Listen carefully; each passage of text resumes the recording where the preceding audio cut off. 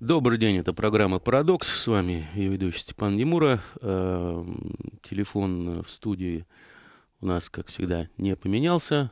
Я его, правда, не помню, почему-то мне его не написали. А, написали. 651099,6, код города 495.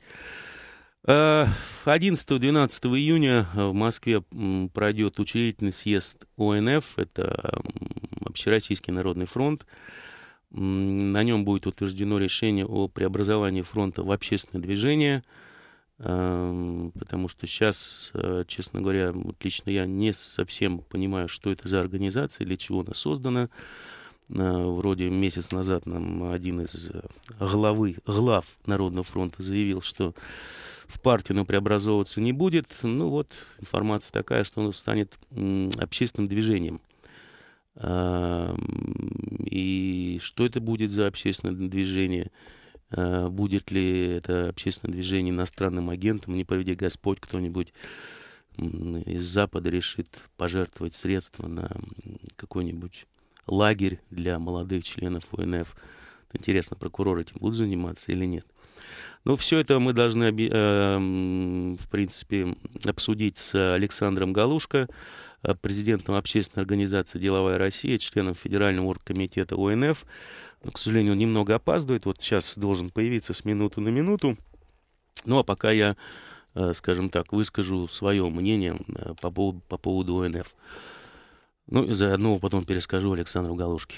Для меня непонятно, что это за организация, какие цели она... Вернее, скажем так, какие цели преследует эта организация, и под кого она делалась, и кем она делалась. Это, в общем-то, достояние гласности и общественности. Э, если верить тому, что пишут в интернете, говорят наши замечательные политологи, то созданием ОНФ э, занимался господин Володин, э, такой верный ученик господина Суркова – но если Сурков э, всегда как-то работал так очень чисто, даже, скажем так, изящно, э, с точки зрения политологии и создания однопартийной системы в стране, то вот господин Володин создал непонятно что, УНФ, скорее всего, наверное, под господина Путина, потому что господин Путин всячески старался дистанцировать себя от «Единой России». Ну, последний пример такого дистанцирования крупных политиков в нашей стране – это решение мэра Москвы, господина Собянина. А, ну, господин, везде госп... господа я использую как форму речи, разумеется. А, а, пойти самовыдвиженцем на выборы мэра Москвы, чтобы не приведи Господь, не запятнать свою репутацию причастностью к ОНФ и Единой России. Вот такие пироги. И социологи, и политологи говорят, что если кандидат идет не от Единой России или ОНФ, то ему можно сразу спокойно приписывать, по-моему, 10 процентных пунктов в голосовании. Поэтому зачем была создана эта организация, в каком виде она была создана, для меня, повторюсь, большущая загадка, потому что каким образом представители или члены УНФ а, оказались на выборных, выборных списках Единой России, как они попали в Госдуму.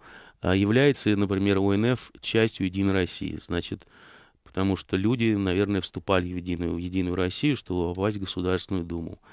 Какие цели, например, я не понимаю, преследует УНФ? Какая у него программа? Вот кто-то утверждает, что УНФ программа это семь пунктов Путина – а, с коими я, в общем-то, ну, не совсем знаком, потому что я не мог найти каких-либо конкретных пунктов а, в предвыборной программе нашего президента, таких реальных пунктов, которые можно, скажем, выполнить и отчитаться перед народом. Сказать, вот, ребята, была поставлена такая задача, она была выполнена. О, добрый день, у нас в гостях как раз Александр Галушка, добрый день президент общественной организации «Деловая Россия», член Федерального оргкомитета ОНФ. Здравствуйте. Да, вот съезд пройдет, и я вот как раз рассуждал, что ж такое ОНФ?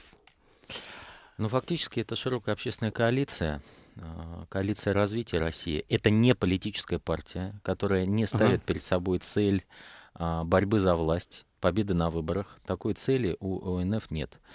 Вместе с тем, есть цель объединить всех тех, а, кому неравнодушно, что будет с нашей страной, объединить вокруг вполне понятных, а, разделяемых всеми приоритетов развития, которые носят надпартийный характер и характер объединительный. Нам очень часто не хватает на мой взгляд, не хватает таких вещей, ясно сформулированных, которые не разъединяют, а объединяют. А, хочу сказать не только нам. А можно я вопрос задам? Да, пожалуйста. Я тоже... Например, каких, наверное? Нет, вопрос другой. А вот как ОНФ — это часть Единой России? Нет. А как же тогда члены УНФ стали парламентариями от Единой России? А... Они вступали в Единую Россию? Смотрите, сегодня начинается принципиально другой этап. Нет, а, а тот этап объясните мне. Про тот этап УНФ не был частью Единой России, УНФ не был политической партией. УНФ это был определенного рода такой лифт для людей, которые хотели реализовать себя в политике. А, я знаю целый ряд примеров, в том числе э, э, это примеры моих коллег по деловой России, предпринимателей, а, которые не могли себя реализовать, допустим, в рамках Единой России, но благодаря тому, что они, э, благодаря той возможности, которая была в ОНФ, они стали депутатами Государственной Думы. Я все-таки Например, не понимаю, вот как вот если, а депутаты, они вступали в Единую Россию? Нет. А, то есть по непонятно каким спискам кто-то куда-то прошел. Да нет, не, непонятно Но каким как же тогда? Да, не непонятно каким списком, а была а, оговорена квота, что часть, там четверть э, списков Единой России это не а, члены Единой России, это общественные активисты, гражданские лидеры спортсмены, музыканты и тому подобное. Нет, ну вот э, я могу сказать, ну, что... я понял, то есть не надо было Мет... вступать. Это, у нас такое, короче, избирательное законодательство, Я думаю, что вы, э, то, что вы поняли, вы ошиблись. Ага. Потому что вот члены деловой России, члены нашей организации, которая объединяет э, предпринимателей из несырьевого бизнеса, из несырьевого сектора экономики, прошли в Государственную Думку, Думу по спискам УНФ, не являясь членами Единой России. Например, э, мой коллега Рафаэль Мардаршин, который сейчас реализует целый ряд законодательных инициатив, связанных с гуманизацией уголовного законодательства, с тем, чтобы предприниматели не сажали в тюрьму, помогает нам продвигать инициативу, а, связанную с, с амнистией предпринимателям, с тем, чтобы их выпустили а почему Единая Россия... Меня, я привожу вам пример я как бы, понимаю, конкретного почему... человека, не музыканта и не художника, моего а коллеги. А почему выделили, вот, например, именно ОНФ, там четверть э, избирательного списка? Я думаю, что это был определенный политический эксперимент, ведь... Э, Володина? Э, я, здесь важна же не столько персонификация, сколько суть дела. То это был политический эксперимент. Угу. И э, если посмотреть на политические системы других стран, они десятилетиями выкристаллизовывались, находили ту или иную такую оптимальную форму. Угу. И мы этот путь еще не прошли, мы его проходим. А то, что было сделано, показало, что вот фактически, я бы так сказал, это просто пустили такой, был эксперимент, я подчеркну, это моя оценка, добавить свежего воздуха в политической системе. Я могу сказать на примере моих коллег, моих товарищей из деловой России, которые этой возможностью воспользовались, вообще это просто исходя из сути дела на благо делу. Ну, просто я тоже, у меня есть знакомые предприниматели, и, в общем-то, они, когда хотели попасть в Думу, они просто платили деньги и получали мандат. У нас не один, не, у нас Дорого? не, не один человек, а неприемлемо. У нас ни один человек не заплатил ни копейки денег, ни копейки денег. Это тоже особенность участия в ОНФ э, деловой России.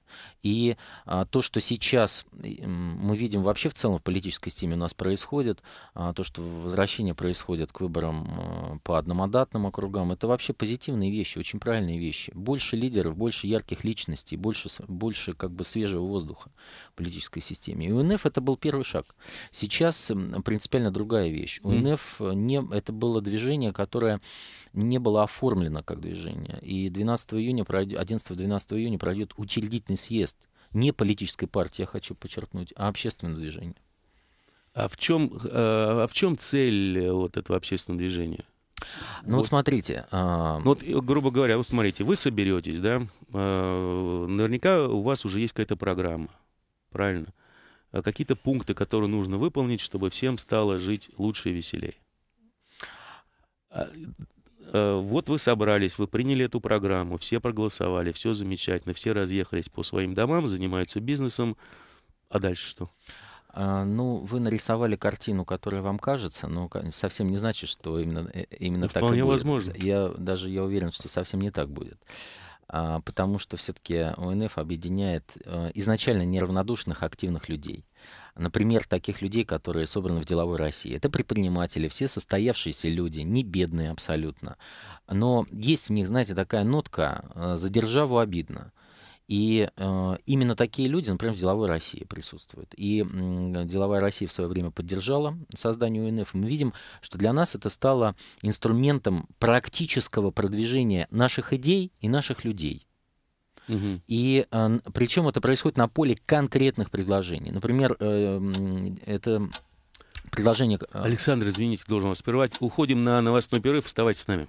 Мы снова в эфире. Это программа «Парадокс». У нас в гостях Александр Галушко, президент общественной организации «Деловая Россия», член Федерального оргкомитета ОНФ. И разговариваем мы о предстоящем учредительном съезде ОНФ, где оно должно быть оформлено как общественное движение. Да, Александр, я вас прервал. Да, конкретные вещи. А, вот в начале года с конкретными проблемами мы столкнулись. Закрытие индивидуальных предпринимателей. Их почти полмиллиона закрылось. Полмиллиона закрылось с начала года из-за повышения страховых взносов. Наша попытка объяснить эту проблему как проблему социальному блоку правительства натолкнулась на то, что социальный блок правительства... Ответ мы получили следующий. Такой проблемы не существует. Если есть предприниматели, которые не способны платить э, повышенные страховые взносы, буквально было сказано следующее. Нам не нужны такие предприниматели. предприниматели.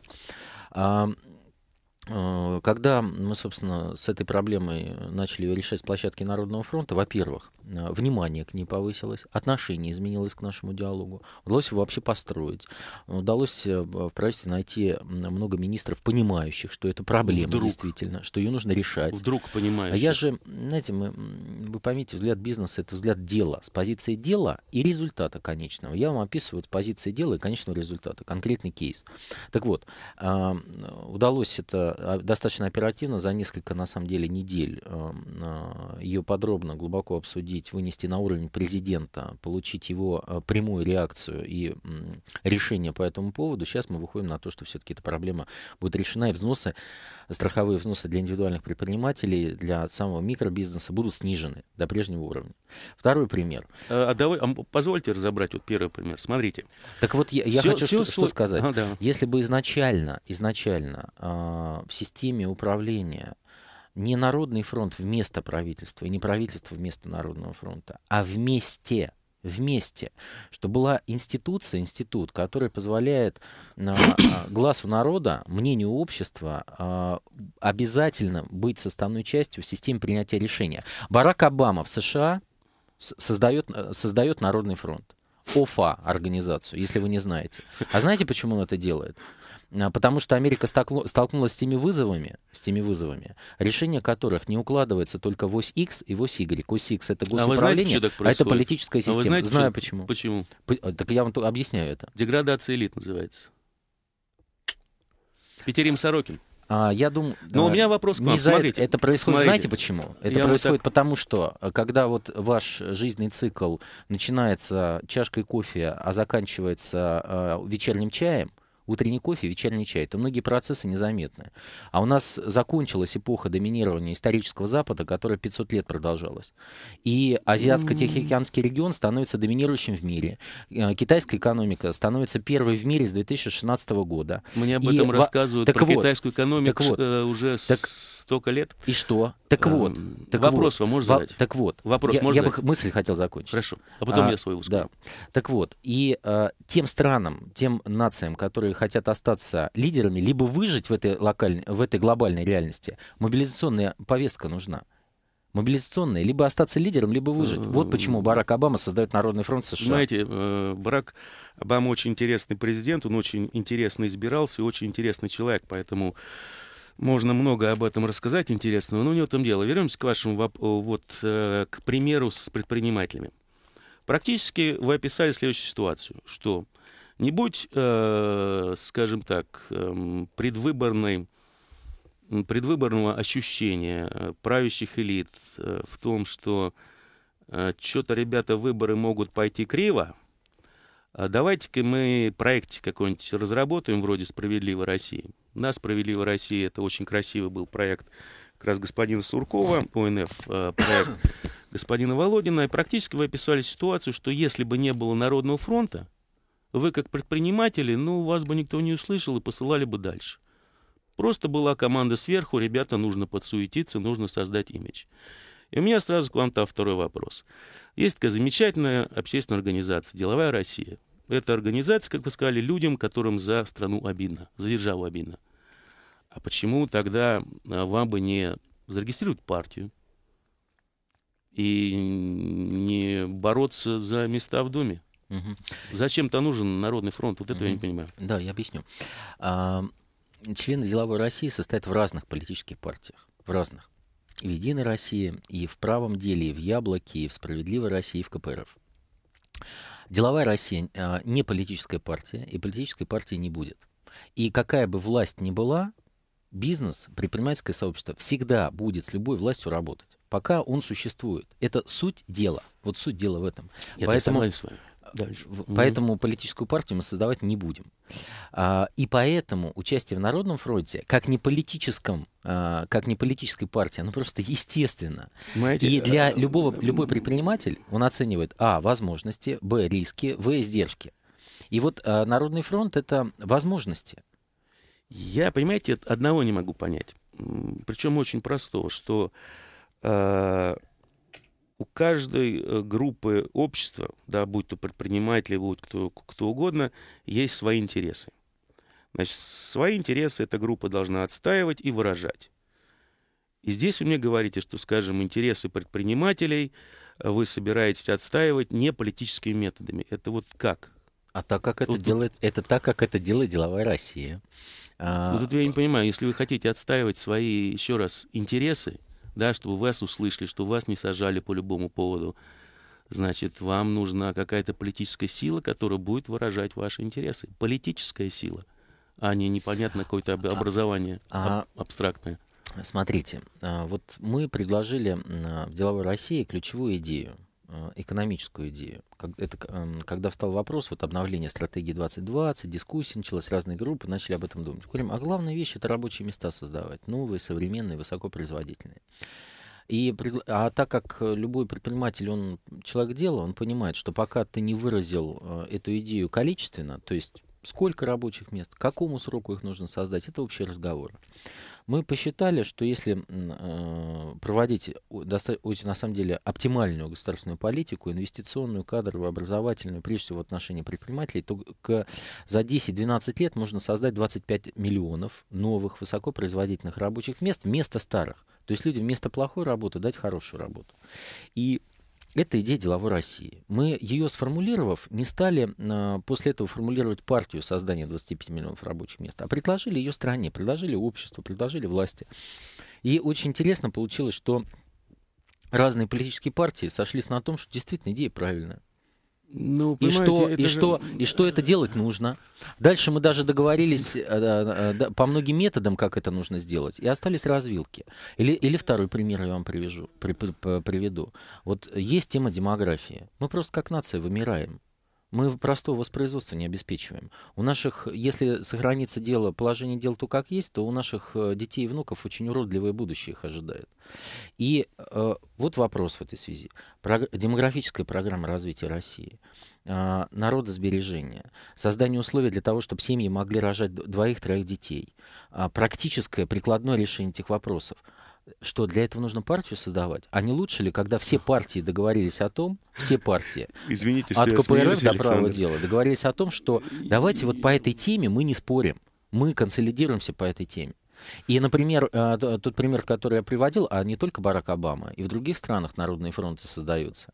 И вообще это, на самом деле, нормальная такая политическая, э, общественная форма общественно-политического движения. Э, смотрите, Александр, давайте, вот позвольте мне сформулировать такой вопрос к вам. Понимаете, вот в студию приходит действительно очень много людей и со светлыми мыслями, как и что нужно обустроить в стране. И я с этими людьми практически очень часто соглашаюсь, э, если их мнение совпадает с моим, потому что нужно делать в стране. А если не совпадает? Ну, я просто в кусочки разношу, есть у меня такой... Вот тут с вами пока что у меня никаких противоречий нет, потому что нужно делать в стране, да? Это рабочие места. Новые дети, новые рабочие ну, места. Ну, новые дети, всего. новые рабочие места. Прежде всего. Все замечательно. Можно нанять кучу специалистов, правда, их осталось мало хороших экономистов, которые вам все это просчитают и скажут, что нужно делать примерно так, примерно так, примерно так. Правильно? Возьмем хотя бы ту же матрицу Леонтьева, межотраслевой баланс. Вот они им скажут, что нужно делать. А всегда вопрос-то, вот я им всегда задаю вопрос, господа, а кто все это будет делать? Так вот, а, так вот. Я имею в виду... Э, так вот. А, люди, люди разводят руками. Так, так вот, а, о чем я хотел бы вам сказать в этой связи. А, для того, чтобы эти 25 миллионов рабочих мест создать, нужно кардинально, просто на порядке улучшить инвестиционный климат в России. Условия для инвестирования Проходили, бизнес. слышали, да. Мы предложили следующую идею в развитии. Что давайте честно признаем, что мы 120 место в мире занимаем по этим условиям. И давайте, если уж мы по-честному их созда- собирали, собрались создавать, станем не 120-ми, а минимум 20-ми. Путин это поддержал, это стало одним из его указов. И сейчас в развитии этого предложения а, на площадке Агентства стратегических инициатив разработаны уже 8 дорожных карт. Очень конкретных, прикладных. Потому, сколько времени вы тратите для того, чтобы получить разрешение на строительство, с каким количеством бюрократических процедур вы сталкиваетесь, проходя таможню, а во сколько вам обходится подключиться к электросетям. Так вот, суть дела в том, что вот это 20 э, место России при реализации этих дорожных карт означает, что таможню я буду проходить 7 раз быстрее, максимум за 2 часа. Это значит, чтобы на моем земельном участке, который у меня есть, если я хочу реализовать девелоперский проект, э, получить разрешение на строительство, максимум максимум два месяца. А вообще с 2015 -го эм, года переход к уведомительному порядку. Смотрите. Так вот, так вот. Это все прекрасно. Так это из этого что складывается? Когда... А как вы собираетесь добиваться этих целей? Дальше, следующий шаг. А, правительство утвердило эти распоряжения, эти дорожные карты своими распоряжением. И что я вижу? Я вижу, как некомпетентная и или коррумпированная бюрократия последовательно сопротивляется реализации этих дорожных карт, угу. потому что в результате их реализации она лишается либо статусной, либо коррупционной ренты. Так вот, многие болезни вот такого рода не живут на свету. И наша задача из-под стол на стол это, это вынести. И наша задача... Это все знают. И наша задача такой общественный мониторинг в рамках Народного фронта наладить. И мы первые шаги к этому уже делаем. У нас портал сейчас запускается, investclimate.rf. Уже запускается. Когда любой предприниматель от Владивостока до Калининграда, неважно с каким аспектом бюрократической системы он соприкоснулся, он, у него есть возможность оставить оценку. Э, что реально, с каким положением дел, сколько это было. Это было два часа или это было три дня? Это было 60 дней или он два с половиной года здесь проводил? Вот э, на самом деле, э, как показывает опыт, вот понимание, в том числе этой бюрократии, что будет спрос с результат, понимание того, что общественная активность, она в эту точку направлена, и что общество не даст не даст не реализовать это. Оно сдвигает многие вещи с мертвой точки. Сдвигает. И когда мы по таможне начинали эту историю, например, подняли тему, а что это у нас за ГУП Ростек такой есть? Подведомственный таможня, государственное унитарное предприятие. Когда 100% таможенного брокериджа в Калининградской области, это этот подведомственный ГУП. Вообще, что за это? За заскорузлость такая. И мы добились того, что уже закон принят в первом чтении, который запрещает какую-либо коммерческую деятельность этому ГУПу осуществлять. В первом чтении мы его приняли, а теперь нас волокитит, и мы поднимаем эту тему, будем поднимать ее у президента, и в правительстве, что второе чтение, давайте решать эти проблемы. Вот так это практически происходит. Спасибо, Александр. Оставайтесь с нами, мы уходим на новостной перерыв. Мы снова в эфире. У нас в гостях Александр Галушка, президент общественной организации «Деловая Россия», член Федерального оргкомитета ОНФ и обсуждаем вопрос о том, зачем нужен УНФ, что это такое. Но ну, у нас есть телефонный звонок, если вы не возражаете, Александр, давайте его возьмем. А, Игорь, добрый день. Добрый день. Ну вот, допустим, я предприниматель, и, допустим, я теперь не 14 часов там таможню прохожу, а 2 часа завез я оборудование, установил его, подключился и стал работать. И вот ко мне приходит Роспотребнадзор и говорит, Ох ты, говорит, а что ж ты здесь это, не в наморднике? А, извините, пардон, не в наморднике, почему у тебя вот здесь не сплетены санпины такие-то, такие-то, такие-то, которых у нас напечатано очень много с 78 -го года, и про которые я ведь не знаю ничего. А, конечно, я должен знать про эти санпины, но дело в том, что многие из них, вот как недавно был закон о том, что все должны хранить тушенку, э, материальные запасы там на случай войны. Про него никто не знал, но он был. То есть в любой момент меня приходит и колпашет на несколько сот тысяч рублей. Угу. Все я про это ничего не знаю. То есть я хочу, я хочу что сказать? Я хочу прозрачных правил. Я хочу знать, right. что я вот открылся, и я должен делать вот то-то, то-то, то-то и то-то. Все. Все остальные, которые ко мне придут люди и какие-то заявят сверхтребования, будут ну, по меньшей мере, грубо говоря, ко мне не придут, а по большей мере меня обустроило, чтобы они были арестованы. Да, очень правильно. А, понимаете, да? То Абсолютно. Есть, тема, у нас тема... ничего не будет, понимаете? Да, правильно, да? Я хочу знать конкретно, я не хочу вот эту обалденного объема бухгалтерию вести. Абсолютно верно. Абсолютно верно. Так вот, эм, э, кроме Роспотребнадзора, еще Росприроднадзор, Ространснадзор, еще куча надзоров, которые пожарники. могут прийти. Пожарники, да. А дорожная карта готова, в целом, которая касается регуляторной среды. А со дня на день со дня на день. Мы ожидаем ее подписания э, представителем правительства. Более того, ситуация была такова, что нам ее просто блокировали. Блокировали в течение полугода с ноября месяца, она уже до конца года должна была утверждена. И что а, благо, э, тоже благодаря усилиям Народного фронта АСИМа напрямую на президента вынесли этот вопрос. 7 мая, если вы посмотрите, он просто правительство спрашивал, почему до сих пор не принята дорожная карта по упрощению всей регуляторной среды. Со дня на день она будет наконец-то принята. И вот могу сказать по своему опыту, вот эти проекты, вот в итоге это получилась эта дорожная карта больше года. Это день за днем, месяц за месяцем очень напряженных усилий, пока ты продавливаешь эту а, среду очень тяжелую. Что дает эта дорожная карта? Она заменяет в целом ряде случаев лицензирование, разрешение на страхование гражданской ответственности. Я застраховался, все, я застраховался, вас уведомил. Больше вопросов ко мне никаких нет. Если даже у вас есть вопросы, пожалуйста, вот страхование ответственности, а, вы считаете, что тут убытки причинил, вот страховка, и страховки решайте все вопросы. Она минимизирует вообще объем соприкосновения предпринимателя с этой всей бюрократической системой через электронные формы документооборота. Все в электронном виде должно происходить. Объем бухгалтерии то же самое. У нас дорожная карта подготовлена по налоговому администрированию, которая наконец-то должна отменить параллельный налоговый учет. У нас, вот мой товарищ а, Александр Ленсон в Питере, я пример просто хотел привести, у него компания Электрон такая интересная. Средняя компания медицинскую технику изготавливает. Philips, компания Philips сделала партнерство совместное. И когда к нему голландцы приехали, в, ну, просто посмотреть офис, где он, где он работает, у него так, такой стеклянный офис, стеклянные перегородки, они проходят мимо бухгалтерии, спрашивают, а что это у тебя за такое за большое, как большое количество людей сидит, чем они занимаются? Он говорит, это у меня бухгалтерия. Он говорит, о, Саш, ты еще и бухгалтерские услуги стор- сторонним организациям оказываешь? Он говорит, да нет, это только для моих внутренних целей. Культурный шок испытывают иностранные инвесторы, когда видят тот объем, тот объем вообще бухгалтерского учета, который у нас. Мы посчитали в деловой России, а, где-то 5 миллионов, 5 миллионов бухгалтеров у нас.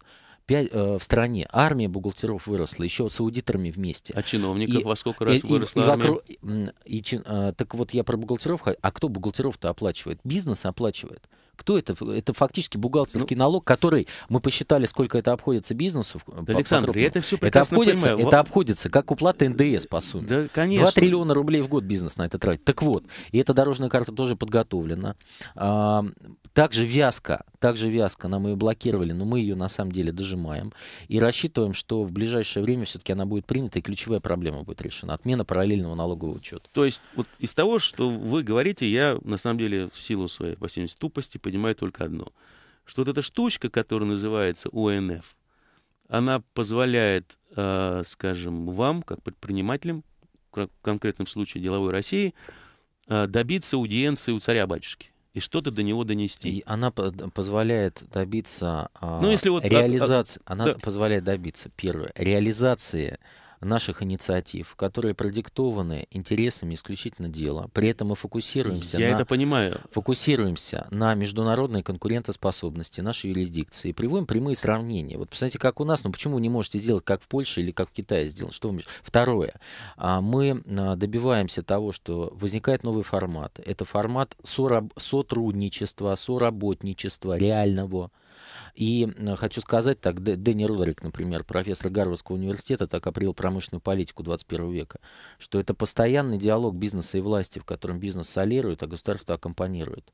Вот наши усилия приводят к тому, что мы приближаемся к таким форматам. В некоторых случаях тяжело, но тем не менее дается.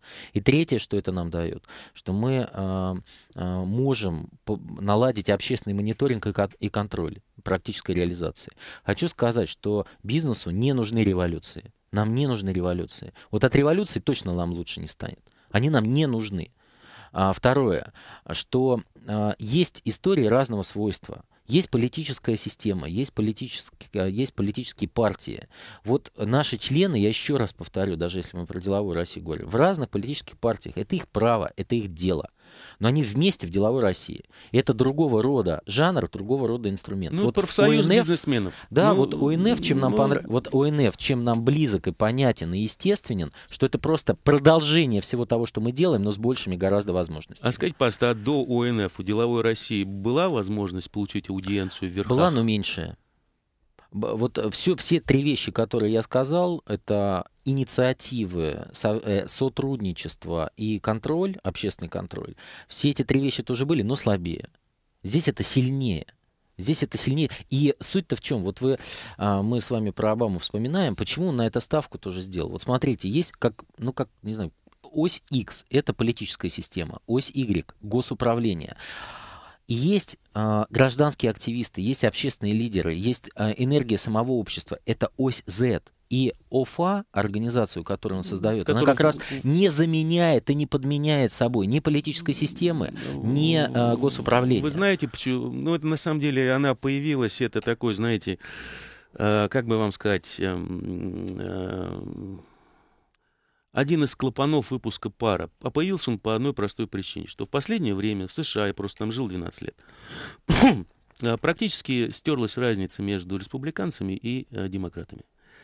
И вся та э, демократия, которая там существовала, как и в любой стране, сейчас, к сожалению, западной, она сводилась к следующему, что э, если народу не нравится одна партия, у него всегда есть выбор другой партии. И он выпускает пар на выборах каждые 4 года. И действительно была разница между республиканцами и демократами. В последние, ну, скажем так, начиная с, наверное, э, Буша-старшего, эта разница стерлась. Политологи там сидят чуть получше, чем у нас. И они поняли, и об этом, кстати, написал Бжезинский в своей книжке, э, которую он издал осенью 2012 года, что элита США, она сейчас стоит перед очень серьезным выбором. Э, нужно как-то спустить пар, либо поменяться. Они стали... Понимаете, что вот меня поражает во всей этой истории? Что а, вот была нужда, да, предвыборная нужда. А, сделали проект ОНФ. Сейчас предвыборная нужда вроде как отпала, потому что 18 год далеко, выборы в Думу далеко. И в один прекрасный момент Э, и финансирование прикроют, ну или, или, скажем так, оставят как игрушечку. Но аудиенции больше не будет у ОНФ. Тогда что будете делать? Так вот, давайте по частям. Значит, вот первая часть. Вы фактически описали, что вы сделали сейчас? Вы описали конкретную ситуацию общественно-политическую, которая сложилась в США. И э, если э, опустить детали, а оставить такую су- суть явления, в чем? Суть явления в том, что э, не срабатывает недостаточно той политической системы, которая есть. Есть и, и нужно еще другое. Вот как бы вы про это сказали. Ну, самое тупое, ну, клапан, варим и все. Ну, я бы не опускался бы вот до, до, тупости, а вот, и думаю, что несколько реальность она пос, несколько посложнее, побогаче, mm-hmm. по разнообразнее. Вот я хочу сказать, у нас похожая ситуация. У нас ситуация у нас, хуже да, она похожая по сути, но она может быть острее, острее по вызовам, которые перед нами стоят. Но она похожая по сути. Именно по той сути, о которой я сказал. И второе. А, конечно, вы правы в том, что вы вот задаете вопрос. А вот раз там... там ну, уйдет допустим, Володин уйдет... как Сурков, и все. И а, ну, что я хочу сказать, что вот эм, важно на самом деле, особенно когда мы пережили э, определенный период, 20 век, этот тяжелый в истории нашей страны, который отпечаток очень, на самом деле, глубокий оставил, серьезный и непростой, культурно даже он оставил отпечаток.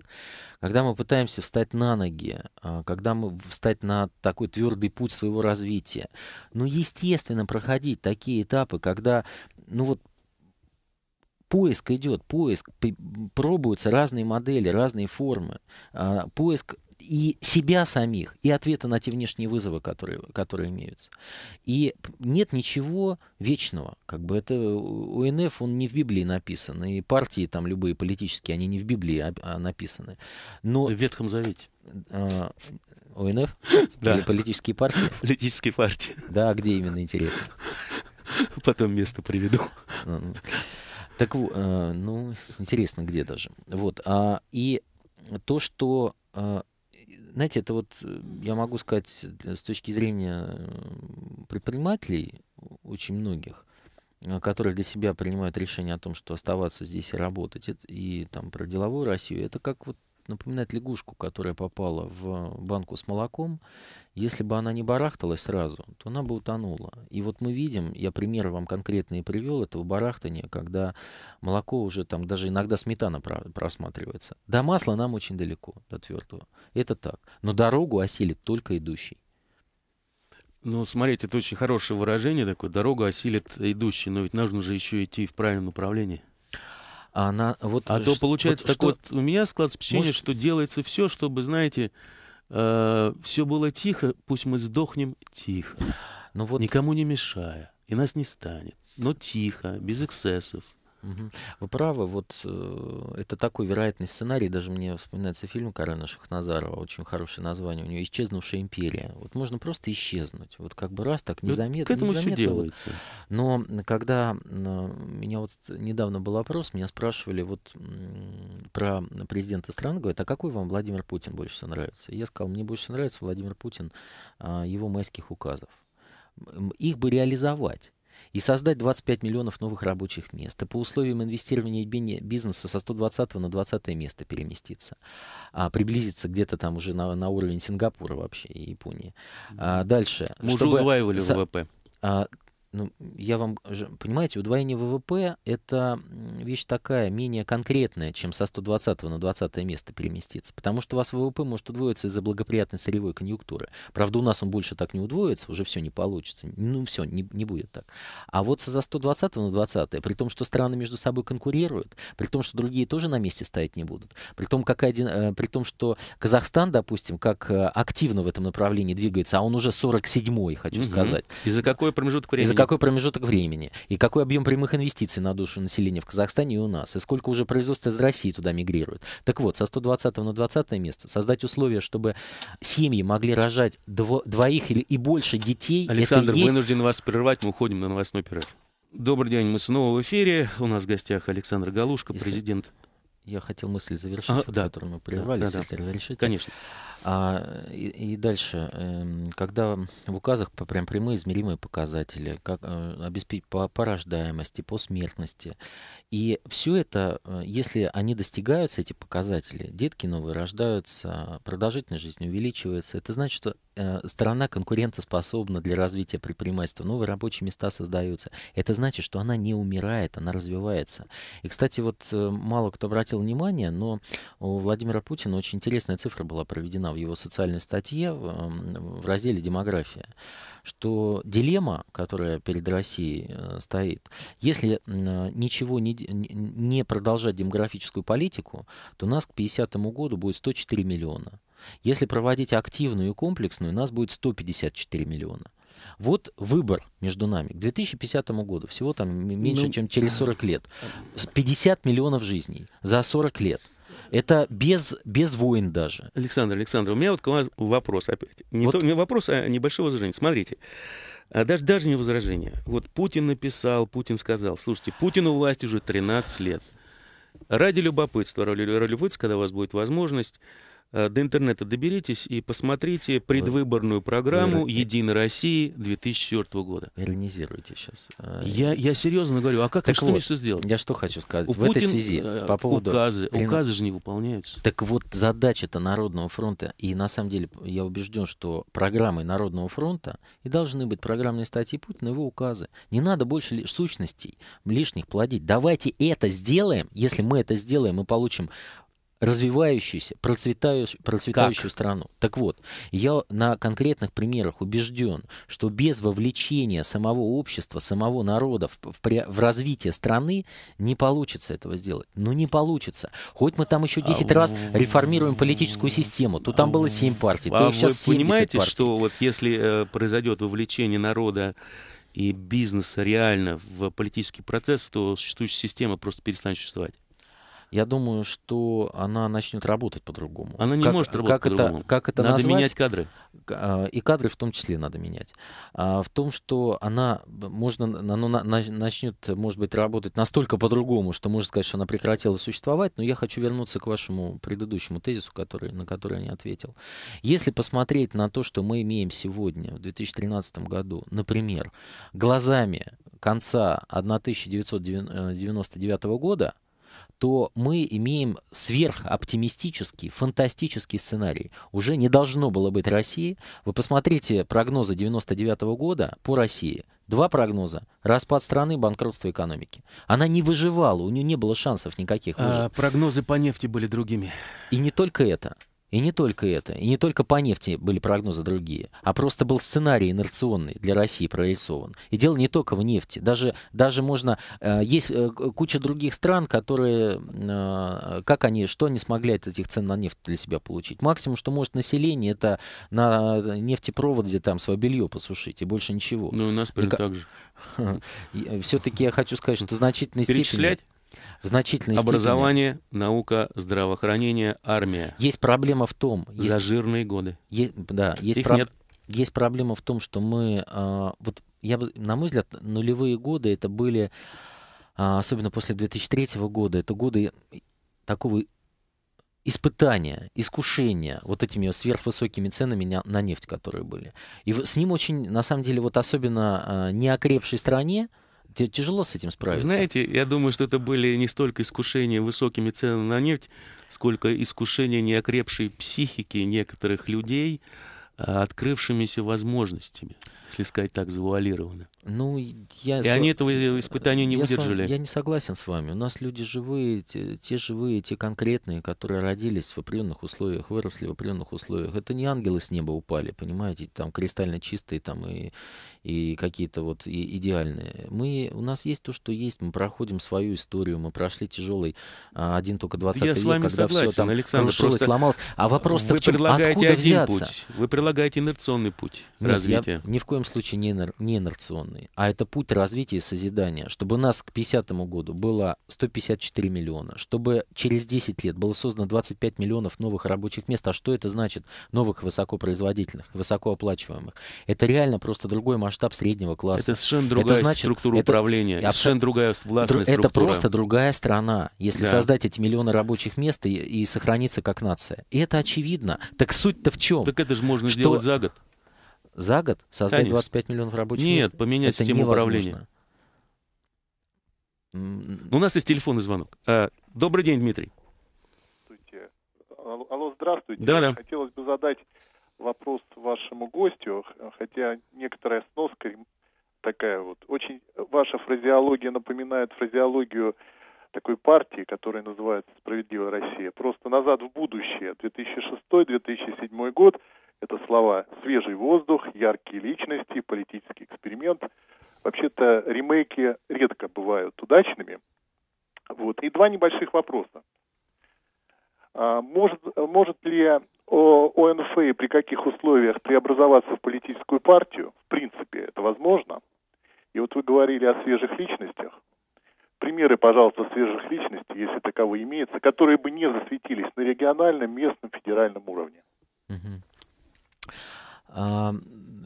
первый вопрос насчет э, ремейков. Ну вот, э, знаете, мы же не по форме, а по содержанию. Вот, например, «Деловая Россия» сформулировала идею налогового маневра. Нам нужно кардинально там перестроить налоговую систему, снизить одни налоги, которые, от которых развитие, развитие за, э, зависит, и повысить другие, от которых не зависит, рентные в первую очередь. И а, мне, например, там говорят, а это же уже говорили вы там. Ну и что, что говорил я, да, это три года назад. А, дело-то не в этом, а дело в том, чтобы донести это до конца, довести до конечного результата и добиться цели. И, э, а не в том, что это какие-то ремейки. Это суть дела. Пока она остается такой, она в таких формах и выражается. Пока она остается такой, результат не достигнут. По поводу преобразования ОНФ в политическую партию, так задача не стоит. Мы э, сегодня учреждаем общественное, мы э, сегодня, я имею в виду на этой неделе, учреждаем общественное движение.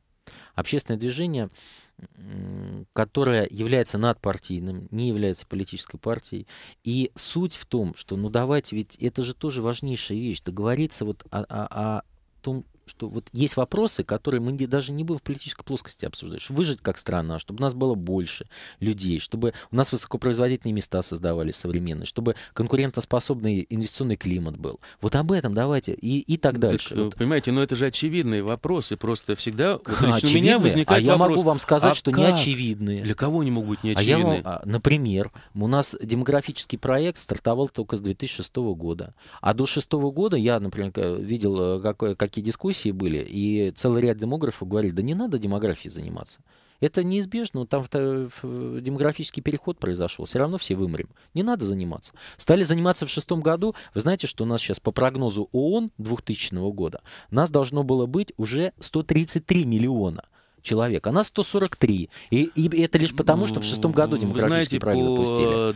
данным ЗАГС а, нас 98 миллионов, а не переписи населения. Это разные вещи.